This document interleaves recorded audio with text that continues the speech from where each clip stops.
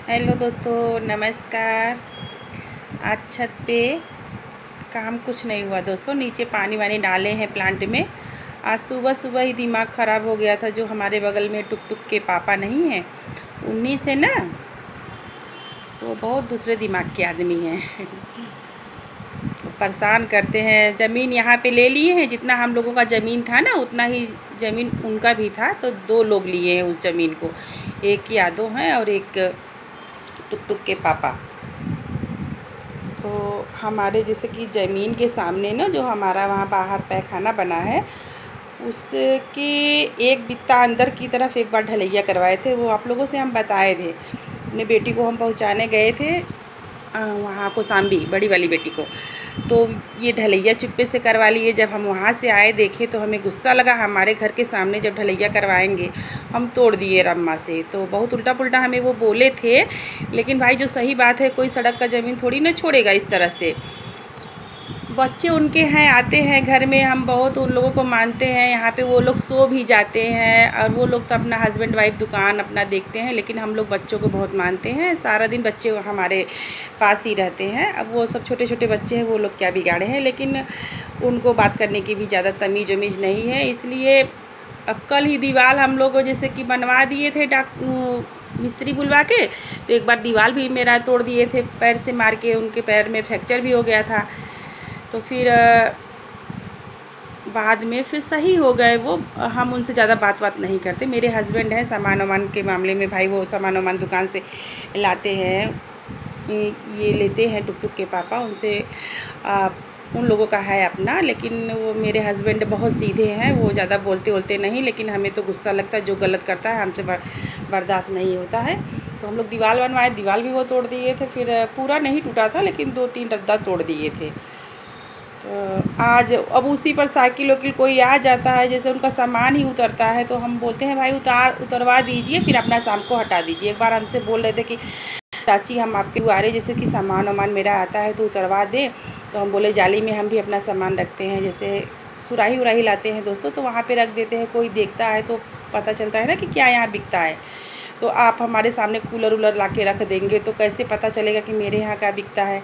तो हम बोले, नहीं, अपनी मम्मी से कहें। तो मम्मी बोली, नहीं, एक बार रखेंगे तो पूरा वो, पूरा आदत बना लेंगे और पूरा तुम्हारे दुआरे पे सामान अपना फैलाएँगे इसी तरह से। तो जब उनका माल आता है तो अपना रखते हैं, फिर उसके बाद हम कहते हैं, आया करें तो आप हमें बता के अपना माल उतरवा लिया करिए, फिर शाम को अपना हटा लिया करिए। अब इतना हम उनसे कहे हैं, अपना गाड़ी वाड़ी जो भी आता है, उनके यहाँ गहकी सब हमारे द्वार पे खड़ा करता है। हम कुछ नहीं बोलते। और जो दीवार तोड़े हैं, वो उसी दीवार के सहारे साइकिल बहुत लोग खड़ी कर देते हैं। अब वो ही खड़ी करवा दिए थे। कल तो हमें गुस्सा लगा, हम चले गए वहाँ पे तो हम बोले, किसकी साइकिल है? तो वहाँ पे दो लोग थे, कहें, मेरी नहीं है। तो फिर हम हटा के वहाँ मोटरसाइकिल भी खड़ी था। तो उसी से जैसे कि टेक लगा के दोनों साइकिल हम खड़ी कर दिए, दो साइकिल थी। तो फिर एक आदमी आया तो वो बोला कि ये इन्हीं, यही अन्नू बोले थे कि यहाँ पे खड़ी करने के लिए तो हम लोग यहाँ पे हम खड़ी कर दिए। तो और हम उससे पूछे थे कि अन्नू कौन खड़ी किया तो वो बोला कि नहीं, हम नहीं खड़े किए हैं, झूठ बोल दिया वो। तो फिर इनसे सुबह अपने हस्बैंड से बोले तो वो उसे समझाएँ और हम कहे, उसे अच्छे से समझा दीजिए क्यों वो परेशान करता है, जब दीवार हिलता है तो वहाँ पे साइकिल क्यों किसी के खड़ी कर रहे हैं हमारे द्वार पे खड़ी करवा दीजिए, लेकिन वहाँ दीवार के पास क्यों खड़ी करवाता है? और तो फिर मेरे हस्बैंड कहे कि तुम यहाँ दिन भर रहती हो, तुम अपना समझा करो, हमसे मत कहो। वो ना ज़्यादा उलझते नहीं किसी से, ना जान गए कितनी बार उसे समझाएँ वो ऐसा इंसान है कि जल्दी समझता भी नहीं दोस्तों। तो जो मेरे पार्टनरी में हैं, हम बोले, आप उनको बुला लाइए, वो बड़े हैं, वो समझा देंगे। तो वो आए तो वो बोले कि, भाई, कोई रख दिया होगा छोड़िए ज़्यादा टेंशन मत लीजिए, हम कहे, नहीं, ये कहे थे रखने के लिए, यही रखवाए थे, यही गलती किए हैं। तो फिर अब जब हम नहीं बोलेंगे तो वो बहुत ज़्यादा जैसे गलती करते हैं दोस्तों, बहुत दिमाग में टेंशन होता है, कोई भी चीज़ अगर अब बिगड़ जाता है तो तो बनवाने में भाई टाइम लगता है और पैसा भी लगता है, कोई तो खर्च पैसा देगा नहीं बनवाने के लिए, नुकसान तो कर देंगे।